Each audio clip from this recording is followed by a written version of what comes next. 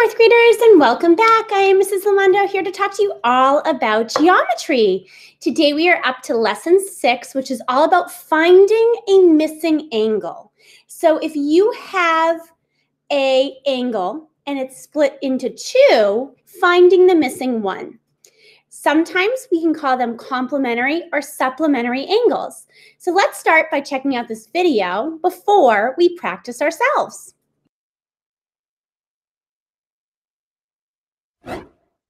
We speak student. Complementary and supplementary angles, a la Shmoop. Claude the sad clown has been doing his best to make kids happy at the Smiling Circus.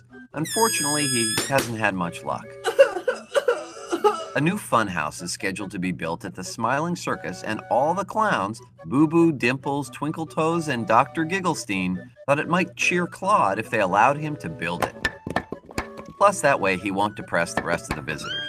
While building one of the windows for the funhouse, Claude finds that the window needs a diagonal brace to support it. If the corner of the window is at a right angle and the brace is at a 50 degree angle from the bottom, how many degrees from the side is the brace? All right, so let's think this through. First things first, let's label our angles. The corner of the window is a right angle, so let's indicate that with a box in the corner. It's also good to keep in mind that right angles are 90 degrees in measure. The only other angle we know is from the bottom to the brace, which is 50 degrees. We want to find the measure of the other angle. Since we don't know it yet, let's call it, uh, x. How clever. To solve this, we can use the idea of complementary angles. Oh, lovely. Oh, lovely. You look lovely. You look lovely. No, you do. No, you do. Or two angles whose measures add up to 90 degrees. Since x and the 50 degree angle add up to 90 degrees, we can find x by solving the equation x plus 50 equals 90. Subtracting 50 from both sides gives us a value of 40 degrees for x. Feeling a little less sad, Claude goes on to build the floor. He wants to make the door to the funhouse tilted so that it's at an angle of 65 degrees. How tilted must the door frame be in relation to the wall? Again, we should start by labeling our angles. We know that the angle of the door is 65 degrees and we'll call the other one x since we don't know it yet. Even though the door frame is tilted, the floor is still a straight angle. Since we know straight angles are 180 degrees in measure, the two angles here are supplementary angles, or two angles whose measures add up to 180 degrees. Since we know the two angles add up to 180 degrees, we can set the equation x plus 65 equals 180 and solve for x. So subtracting 65 from both sides gives us x equals 115 degrees as our answer. Claude has figured out all the angles in his funhouse, and building it has made him much happier. He still has the occasional relapse, but he's cut down his sobbing sessions to only about once a week. Poor Claude.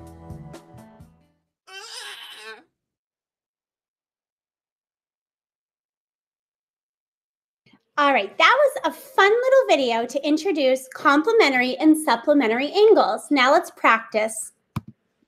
So remember, we're trying to find the missing angle. Let's take a look at a worksheet I have that would be helpful. So if we look at the very first angle here, we see the square in the corner, which means it is a right angle.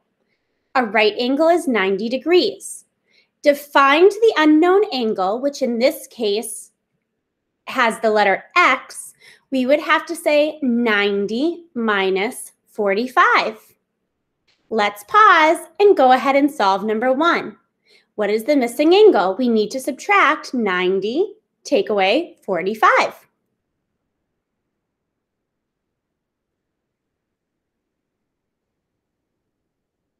When we're ready, let's move on to number two. Number two, again, is a right angle. I know this because it has a square in the corner. That tells me it's 90 degrees. We have one angle that's 72 degrees, and the other one we don't know. So we put an X. It's unknown. To solve this one, we would have to say 90 minus 72. Let's pause and find the missing angle for this one.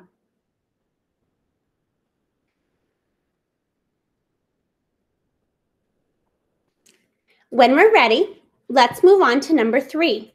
Again, another right angle. We have one angle that measures 23 degrees. The other one we don't know, so we have the letter X. And just so you know, you could use any letter to represent an unknown angle.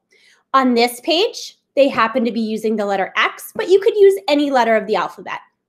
To solve number three, we're going to have to say 90 minus 23. Let's pause and solve that one now.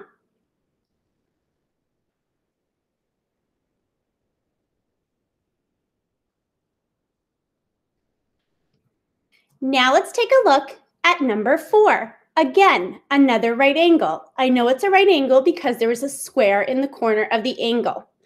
We have one given angle that's 81 degrees and an unknown angle labeled x. To solve for this one, problem number four, we would have to say 90 minus 81. Let's pause and find the value of our unknown angle now.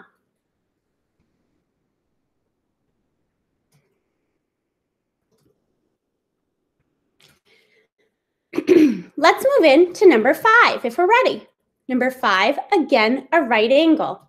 We know right angles are 90 degrees. The given angle is 17. So to solve for the unknown angle x, we need to say 90 minus 17. Let's pause and solve that problem now.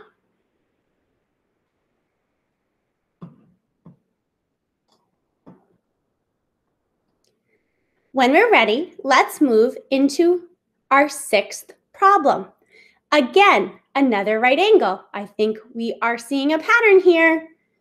We know one angle is 43 degrees. The other is unknown. It's angle X. To solve number six, we need to say 90 minus 43.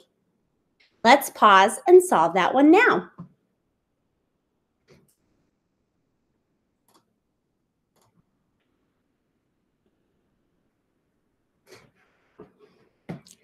All right, if we are ready, let's move into problem number seven.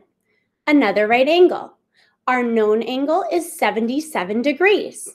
So we are going to solve it by saying 90 take away 77 to find the unknown angle x.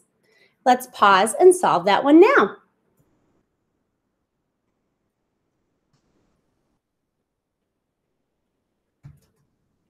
And our last one, Problem number eight, another right angle. We have a given angle of 68 degrees and an unknown angle of x. To solve for x, we need to say 90 minus 68. Let's pause and solve that one now.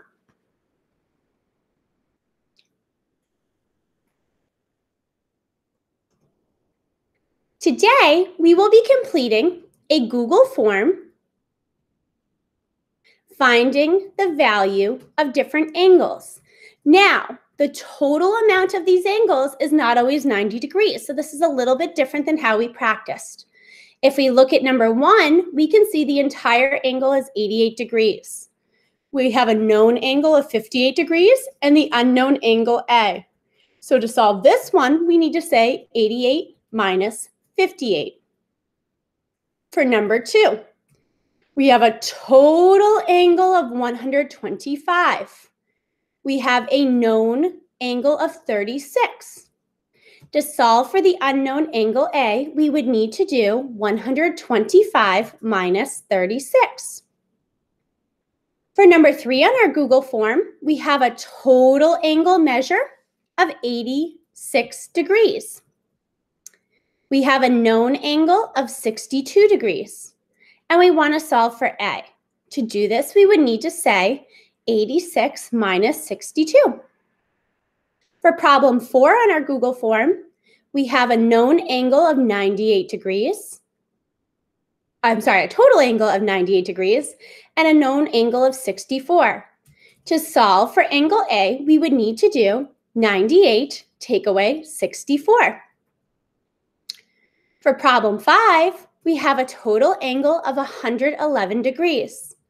Our known angle is 78. To solve for unknown angle A, we would need to do 111 minus 78. And the last problem on our Google form, we have a known angle of 120 degrees. We would subtract the 89 to find the value of angle A. All right, fourth graders, that is all for today. As always, if you have any questions, feel free to check in with your teacher, and we will see you next time. Bye.